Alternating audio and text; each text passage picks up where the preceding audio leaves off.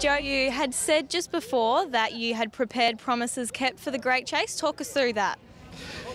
Yeah, I think the key factor to winning this race is experience of this track. A, lot of people don't realise how much it means for a dog to go around and, and get the experience around two turns. I learned early days uh, with other dogs I've trained, they had a lot of experience on U-shaped tracks. To come here, they needed three or four goes before they really showed their true potential.